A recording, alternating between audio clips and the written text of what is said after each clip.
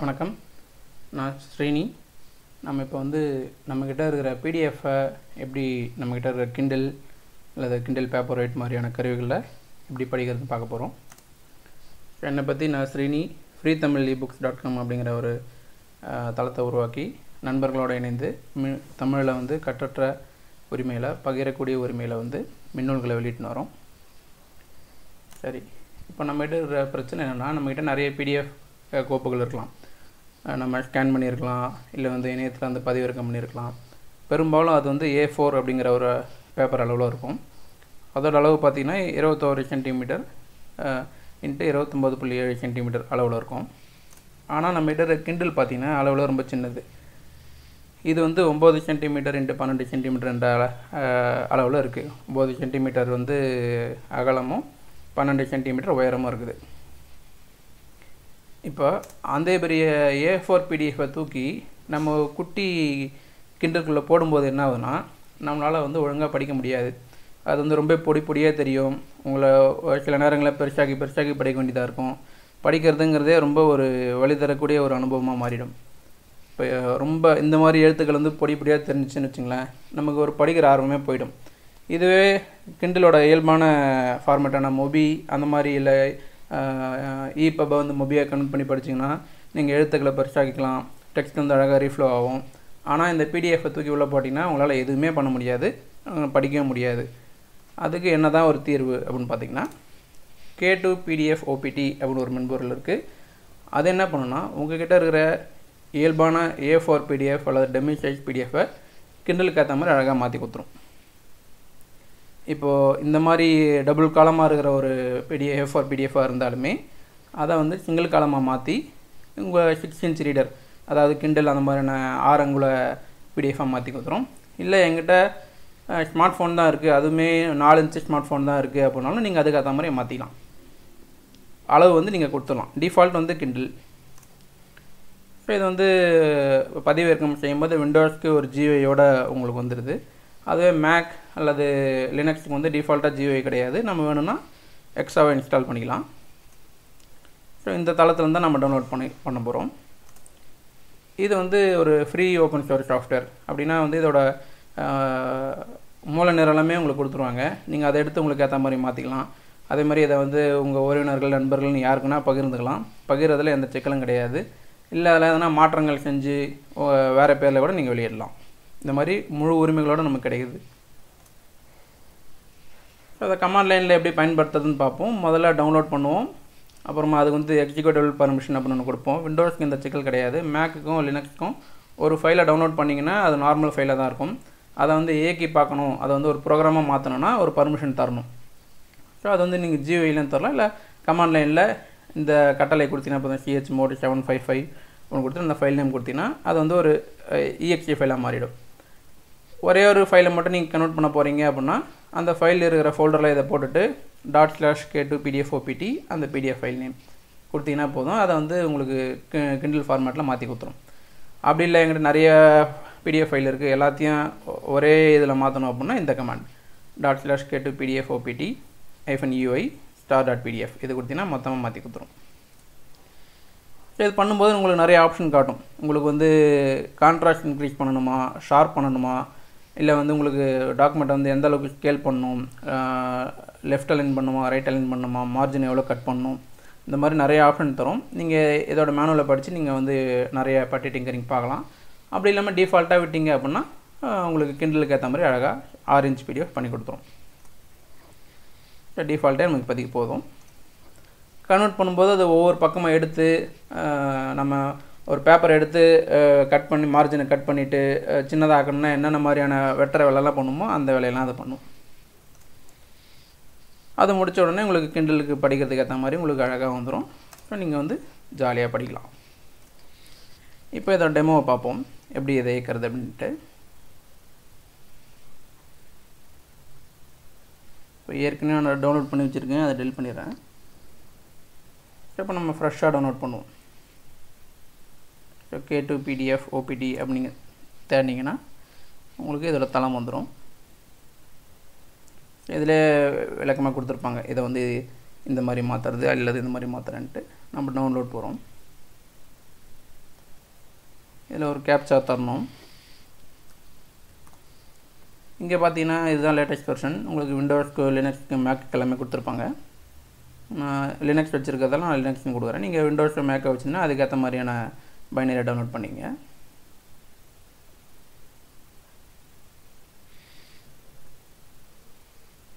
அது டிஃபால்ட்டாக என்னோடய ஹோமில் இருக்க டவுன்லோட்ஸ்னு ஒரு ஃபோல்டரில் போய் உட்காந்துக்குது நான் அதை சும்மா காப்பி பண்ணி என்னோடய டெஸ்க்டாப்பில் போட்டுக்கிறேன்.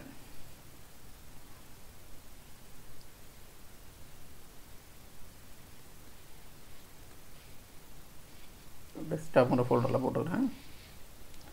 ஸோ இதுக்கு வந்து பர்மிஷன் எப்படி தரது அப்படின்னா ஜியோவில் பண்ணுறதா இருந்தால் இதை ரைட் கிளிக் பண்ணி பர்மிஷனில் போயிட்டு அலோ எக்ஸிக்யூட்டிங் ஃபைலஸ் ப்ரோக்ராம் இதை கொடுக்கலாம்.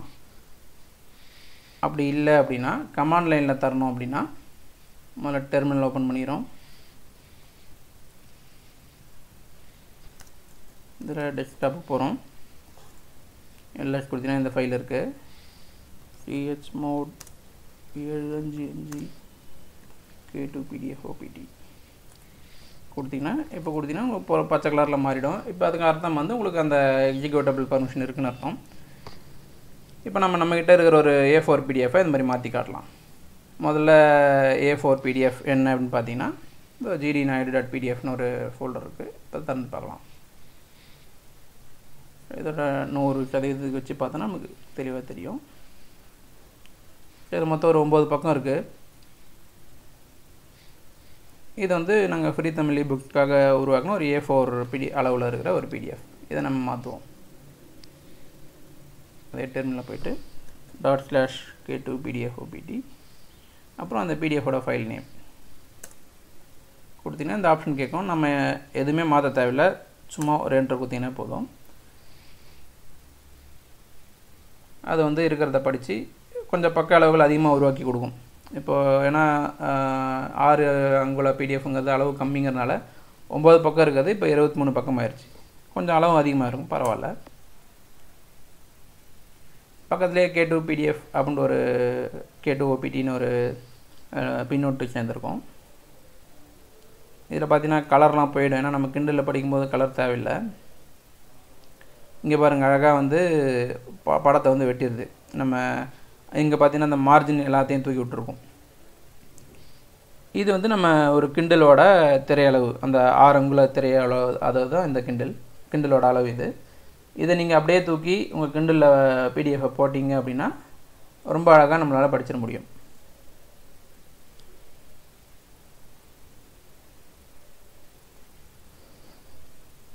இப்போ நம்ம இன்னொரு கோப்பையும் செஞ்சு பார்ப்போம்.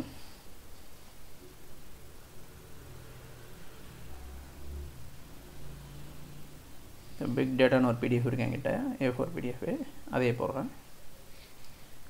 அதுக்கும் அதே தான் முதல்ல அந்த பிடிஎஃப் கோப்பும் அந்த கேட்டு ஓபிடியும் ஒரே ஃபோல்டரில் இருக்கணும். நம்ம டெஸ்க்டாப்லேயே வச்சுருக்கிறேன். இப்போ வந்து dot slash K two big data கொடுத்துட்டு என்ட்ரு தட்டினீங்கன்னா ஆப்ஷன் கேட்கும். நான் இன்னும் ஒரு என்ட்ரு தட்டுறேன். இதில் ஒரு பதினஞ்சு பக்கம் இருக்குது அது முதல்ல எல்லாத்தையும் படித்து என்ன பண்ணணும் முடிவு பண்ணிவிட்டு அதுக்கப்புறம் உங்களை மாற்றி கொடுத்துற போகுது பதினஞ்சுங்கிறது நா நாற்பத்தி மூணு பக்கம் ஆயிடுச்சு. ஓகே. இன்னொரு என்ட்ரு குத்தினா வெளில வந்துடுவீங்க இப்போ எதை திறந்தீங்கன்னா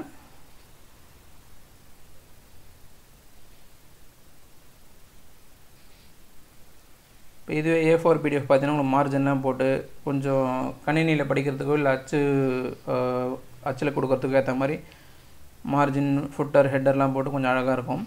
ஆனால் கிண்டல் நமக்கு அந்த மாதிரியான மார்ஜின்லாம் தேவையில்லைங்கிறதுனால உங்களுக்கு அது மார்ஜினை தூக்கி விட்டுரும். பக்க அளவு அதிகரிச்சிடும் ஹெட்டர் ஃபுட்டர்லாம் தூக்கி விட்டுரும். இதை வந்து நம்மளால் கிண்டலில் படிக்கிறதுக்கு ரொம்ப அழகாகவே இருக்கும். இப்போ அடுத்ததாக நம்ம வந்து எப்படி நிறைய ஃபைல்ஸை வந்து கன்வெர்ட் பண்ணுறதுன்னு பார்ப்போம். இப்போ இதே டெஸ்க்டாப்பில் நான் சும்மா ஒன் அப்படின்னு ஒரு ஃபோல்டர் வச்சுக்கிறேன். அதுக்குள்ளே மல்டிபிள் ஃபைல்ஸ் போட போகிறேன் இப்போ. இதில் பார்த்தீங்கன்னா மொத்தம் ஒன்று ரெண்டு மூணு நாலு அஞ்சு அஞ்சு ஃபைல் போடுறேன்.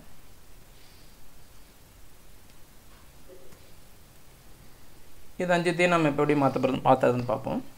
இப்போ இதை போடும்போது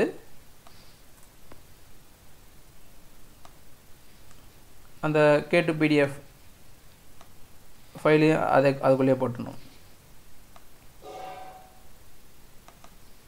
இப்போ இதுக்குள்ளே இருக்குது இப்போ எனக்கு மறுபடியும் கமாண்ட் லைன் போகிறேன் உள்ளே போகும்போது டெஸ்க்டாப்பு ஸ்லாஷ் ஒன் இந்த ஒன்றுங்கிறது எந்த ஒரு ஃபோல்டர் நேமே வேணால் இருக்கலாம். நான் ஒரு உதாரணத்துக்கு தான் ஒன்றுன்னு தரேன். இப்போ இதுக்குள்ளே பார்த்தீங்கன்னா இந்த பிடிஎஃப் ஃபைல்ஸ் எல்லாமே இருக்குது dot slash K two PDF OPT hyphen UI star dot PDF தெளிவாக தெரியும்னா dot slash K two PDF OPT hyphen UI star dot PDF அவ்வளோதான் கொடுத்து என்ட்ரு தட்டினீங்கன்னா இது எல்லா ஃபைலையும் ஒரு முறை லிஸ்ட் பண்ணிவிடுது இதே ஆப்ஷன்ஸ் வச்சு எல்லாத்தையும் பண்ணிக்கோன்னு கேட்கும். ஓகே பண்ணிக்க. அப்படின்னா ஒரு ஒரு ஃபைலையும் படித்து படித்து ஆட்டோமேட்டிக்காக எல்லாத்தையும் இதை வந்து கனெக்ட் பண்ணி கொடுத்துரும்.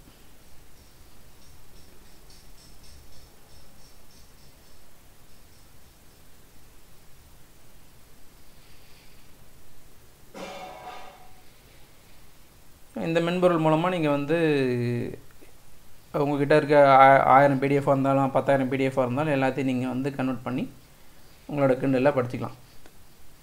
கிண்டலில் ஒரு சிக்கல் என்னென்னா பெரும்பாலான கிண்டலுக்கு வந்து ஃபோர் ஜிபி தான் இடம் கொடுப்பாங்க. அதனால் நம்ம நம்மகிட்ட இருக்க ஒரு நூறு பிடிஎஃப் உள்ள போடலாமானா இடம் பத்தாது. அதுக்கேற்ற மாதிரி நம்ம என்ன பண்ணோம் பத்து பிடிஎஃப் இருபது பிடிஎஃபாக அதை உள்ளே போட்டு உள்ளே போட்டு படிச்சுட்டு படிச்சுட்டு அதை டெல் பண்ணிட வேண்டியது தான் இந்த மாதிரி நம்மகிட்ட இருக்கிற நிறைய பிடிஎஃப் வந்து நம்மளால் படிச்சிட முடியும்.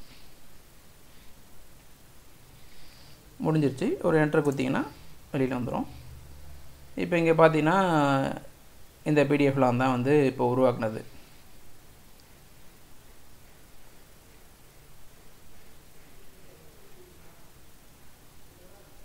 இங்கே பார்த்தீங்கன்னா உங்களுக்கு வந்து இது வந்து இதுக்கு இதோட ஒரிஜினல் பிடிஎஃப்ல இருந்த ஹெட்டர் ஸோ சில நேரங்களில் அந்த ஹெட்டர் டெக்ஸ்ட்லாம் வந்து போகாது. நம்ம படிக்கும்போது நமக்கு பழகிடும். எது ஹெட்டர் எது ஃபுட்டருங்கிறத பழகிடும்.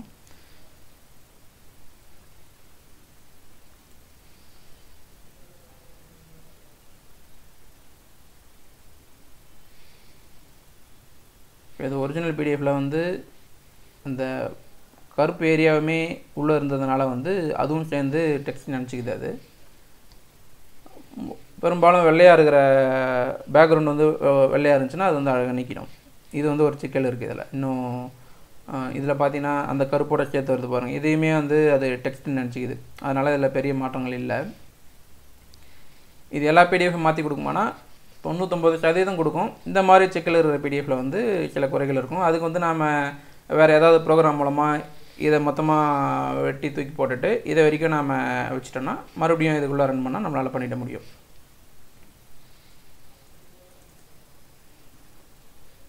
இதுதான் வந்து இந்த கேட்டு பிடிஎஃப் ஓபிடியோட ஒரு சிறப்பம்சம். இல்லை எனக்கு இந்த கமாண்ட் லைன்லாம் தெரியாது. எனக்கு ஜியூஐ தான் வேணும் அப்படின்னு சில பேர் வந்து ஆசைப்படலாம். அவங்களுக்கு வந்து இந்த கண்ட்ரி அப்படி உள்ளே போனீங்கன்னா விண்டோஸ்க்கு வந்து ஜியோ இருக்குது அப்படின்னு சொல்லியிருக்காங்க. நீங்கள் இதை டவுன்லோட் பண்ணி இந்த லிங்க்கில் போய் டவுன்லோட் பண்ணிக்கலாம். மேக் வச்சுருக்கவங்க இந்த ரீஃப்ளவர் ஜியோவை பயன்படுத்தி பார்க்கலாம். மேக் ரீஃப்ளவர்னு ஒன்று இருக்குது அப்படி இல்லை எல்லாத்துலேயும் ஒர்க் ஆகிற மாதிரி ஒரு பைத்தான் ஸ்கிரிப்ட் இருக்குது ஸோ இதிலலாம் நீங்கள் போயிட்டு இதை டவுன்லோட் பண்ணி முயற்சி பண்ணலாம்.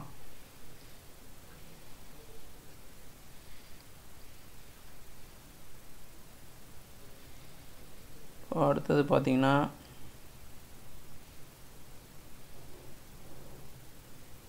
ஹெல்ப் என்கிட்ட விண்டோஸ் இல்லை அதனால் நான் வந்து அதை பயன்படுத்தி காட்டல. இந்த ஹெல்ப் அப்படிங்கிற பக்கத்தில் போனீங்கன்னா இந்த காணொலியில் வந்து உங்களுக்கு விண்டோஸில் எப்படி டவுன்லோட் பண்ணுறது எப்படி இதை இயக்கி பார்க்குறதுன்னு ஒரு முழு விளக்க கொடுத்துருப்பாங்க. ஆங்கிலத்தில் தான் இருக்கும். ஆனால் நம்ம பார்த்தாலே புரியும். ஒன்றும் பெரிய கஷ்டம் இருக்காது.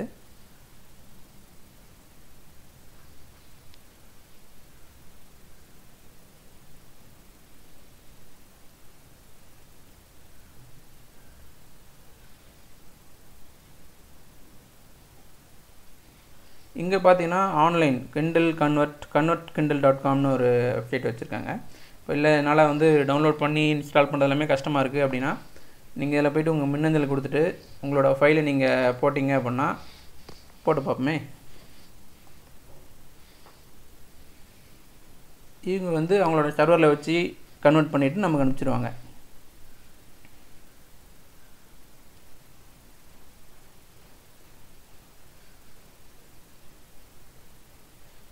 இவங்க பார்த்தீங்கன்னா பேக்ரவுண்டில் வந்து இந்த டூல் வந்து இதோட இதை தான் பயன்படுத்துது அப்படின்னு சொல்கிறாங்க நம்ம நமக்கு ஒரு மிட்டஞ்சில் வந்துடும் நம்ம இல்லை இதே பார்த்துட்டு இருந்தோம் அப்படின்னா இங்கே இனிப்பும் கிடச்சிருது. ஓ இது வேலை செய்யலை போல். ஓகே நான் அதை சோதிச்சு பார்க்கல. பட் ஃபைன் நம்ம இது இது வேலை செய்யலை அப்படின்னா இதுக்கான இதே மாதிரியான ஒரு தளத்தை நம்ம உருவாக்கிடலாம். அது ஒன்றும் பெரிய சிக்கல் இல்லை. இப்போதைக்கு நம்ம இந்த கமாண்ட் லைனை வந்து நம்ம பயன்படுத்துவோம். விண்டோஸ்க்கு ஜியோ இருக்குது மேக்கு அதுக்கும் ஜியோ இருக்குது இல்லை கமாண்ட் லைன் நீங்கள் பழகிட்டீங்க அப்படின்னா ரொம்ப சுலபமானது தான். கமாண்ட் லைனுங்கிறது ஒரே ரெண்டே ரெண்டு கமாண்ட் தான். நம்ம ஒன்றும் பெரிய கஷ்டப்பட போகிறதில்ல மொதல் முறை டவுன்லோட் பண்ணும்போது C H mod seven five five K two OPT PDF அப்படின்னு கொடுக்க போகிறீங்க அதை இயக்கிறதுக்கு பிடிஎஃப்பும் அந்த ஃபைலையும் ஒரே ஃபோல்டரில் போட்டு கே டூ பிடிஎஃப் பேர் என்ன? K two PDF OPT sorry இங்கேயுமே மாற்றி கொடுத்துட்டேன். பிடிஎஃப் ஓபிடி ஃபைல் நேம் வந்து K two PDF OPT OPT அப்புறமா வந்து அந்த பிடிஎஃப் ஃபைல் நேம் இல்லை எனக்கு வந்து நம் நிறைய ஃபைல்ஸை ஒரே ஒரே நேரத்தில் கன்வெர்ட் பண்ணணும்னா dot slash K two PDF OPT hyphen UI dot PDF இந்த மூணு கமெண்ட் தான். அதுக்கு முன்னாடி இது எந்த ஃபோல்டரில் இருக்குது அப்படின்னு நீங்கள் போகணும் அப்படின்னா அதுக்கு வந்து உங்களுக்கு change directory desktop slash one முதல்ல இந்த சேஞ்ச் டைரக்டரி கொடுங்க. அதுக்கப்புறமா இந்த கமெண்ட் கொடுங்க. அதுக்கப்புறமா இந்த கே டூ டாட் ஸ்லாஷ் இதை ரன் பண்ணிங்கன்னா உங்களுக்கு வந்து ரன் ஆகி முடிஞ்சிடும் ஸோ இந்த மாதிரி உங்களுக்கு வந்து நிறைய உங்கள்கிட்ட இருக்க எல்லா பிடிஎஃப்பையும் நீங்கள் வந்து டவுன்லோட் பண்ணி உங்களோட கிண்டில் போட்டு சந்தோஷமாக படிச்சுக்கலாம். இதை உருவாக்கின வில்லேஜ் டாட் காம்ங்கிறோட ஓனருக்கு மிக்க நன்றி.